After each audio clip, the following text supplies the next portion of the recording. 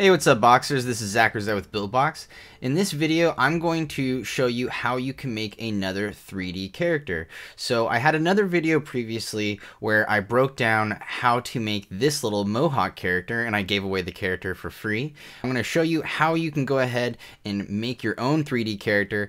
I want you to watch how I troubleshoot and how I guess and check using the preview window. So let's go ahead and jump into this. Okay, so I just dropped in my character into my 3D world and I dropped in the BB asset that I downloaded and I gave you from that 3D character video that I had before. And that link to that video is in the description below. So let's go ahead and go into our 3D world. And I just kind of want to show you the tools that are useful for designing your own character. Okay. And then I'm going to, once I've shown you all the tools, I'm not going to make you watch me guess and check uh, forever and ever because that's just boring. So I'll speed up the last part of the video and then I'll give you the character. So first thing that would be really useful to know is this little camera view over here. Okay, so you turn on this little camera button here, and then you can zoom in and out, and you see how it's changing the view over here in the preview window. It's really, really nice to get a better view of your character, and you can twist around and get a, a better angle if you want to see, like, for instance, uh, this character, the eyes are bulging way out, and it looks a little ridiculous. I kind of designed that character like that on purpose because I was trying to make the character look look scared and like he was running away when he uh, when I originally made the character. But I'm gonna make a new character and I'm not gonna have his eyes like that. So it's kind of a nice uh, if but, see. But the thing is, is you, if you don't have the camera uh, facing the right way, if you look at it just straight on, you can't really tell exactly that the eyes are bulging way out forward. You can mostly see it once you turn it to the side, and you can see like, oh my gosh, they're sticking way out. So that's the sort of thing that's useful when you're looking at it is getting different angles. All right, so we're done with that. Let's take off the camera view, and then right right now I'm going to just hit. Uh, I'm going to select my spiky hair character that I made, and I'm going to hit uh, D on my keyboard, and that is going to duplicate the character. So the next thing I want to do is I want to take this duplicate spiky character. Let's name it something else. So let's call it um, let's call it blue hair character. I'm just going to make this character have blue hair. That's what I'm going to do for this guy. So let's drag him out into our scene. We'll have him join this other guy, and then we'll start switching things up so that it's a little bit easier to mess around with. So let's go ahead. Let's let's recenter these guys. Let's put them next to each other, and let's put them right about there. Let's take a look at the camera view. Okay, cool. Let's, I think that's pretty good. Let's get an angle so that we can see the the eyes a little bit better. All right, awesome. We will refresh the preview. We can see both the characters. All right, now let's start making little changes. So first thing I'm going to do, click on the blue haired character.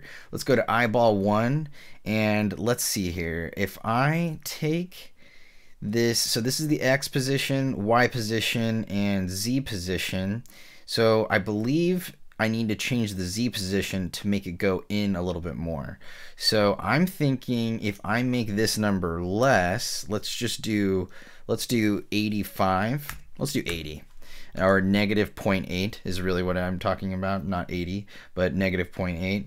And then let's see if the eye, see here, eyeball one should be over here. Let's see if the eyeball moves. So let's refresh and then you can see, okay, cool. So the eye moved a little bit. And let's go ahead, let's zoom in on that character now. So I'm going to turn my camera on and we'll zoom a little bit. First, I want to see what he looks like straight on, straight at the face. So let's see. Okay, that looks all right. Let's uh, let's go ahead. Let's work with that. Let's do um, 80 on the other side as well, or 0.8 on the other side. I don't know why I keep saying 80. And okay, let's go ahead and refresh. Cool. Let's take the pupils, let's dial those back a little bit.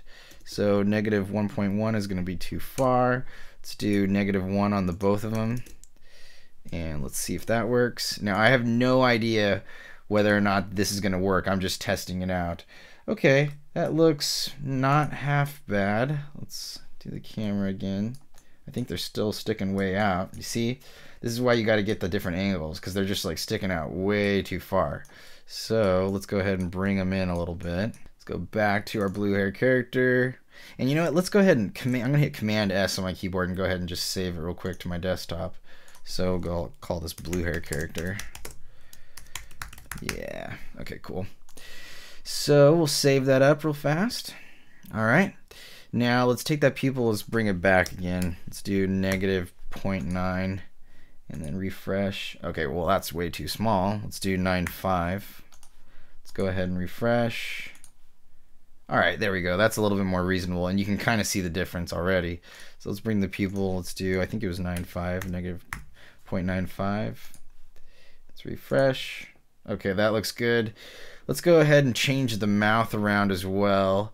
So I have the mouth scale all wibbly wonky. Let's go ahead and just do a straight circle because I have it stretched out um, more so in the X direction. So let's go ahead and mess with that. All right, and let's recenter it a little bit. So I need to, let's go ahead and take it, get rid of the um, position, the X position here, and it, it should recenter it now. Okay, cool. And then let's dial it back. Let's go ahead and bring, bring it in some more. Probably 0.8 might be too much. Maybe more. Negative 0.7. Let's try that. And that looks interesting. Okay, I don't know. I'm not too crazy about that. Let's see if I can find something else. I'm not even crazy about the shape. I don't know. Let, let me mess around with it a little bit. Let's go ahead. Let's let's keep tweaking it a little bit. So I want to bring it. I, I think he's like open too wide. Just like the mouth looks off to me. Something like that is a little bit a little bit better for me. Let's see here. I kind of want to get this angle. Let's go even wider on the. Um, let's go wider on the Z maybe. Or no, let's scale it up on the X. Let's go wider on the X. That's almost like he's smiling. I wonder if I bring it uh, out even a little bit more, if I, it'll kind of create a smile. All right, so this video is already about seven minutes long, so I think you you all get the point. the The whole idea here is you need to do a lot of guess and check. So you use the preview window, you use the camera, and you switch the position, rotation, and scale. So I'm gonna go ahead and just speed up the rest of this video so you can see me develop out this rest of the character, and then I will give you this character so that you can use it.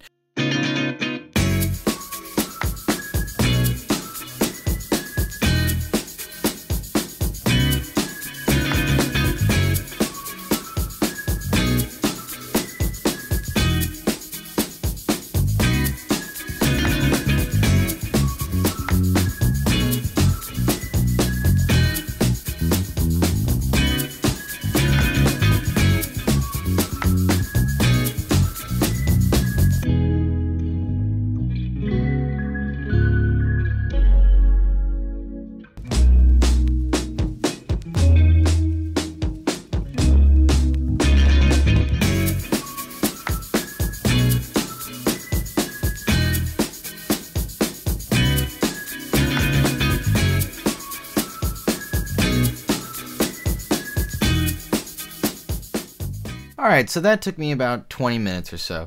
So I'm going to exit out of my camera view here. And now what I'm going to do is I'm going to right click this blue hair character and I'm going to select export asset.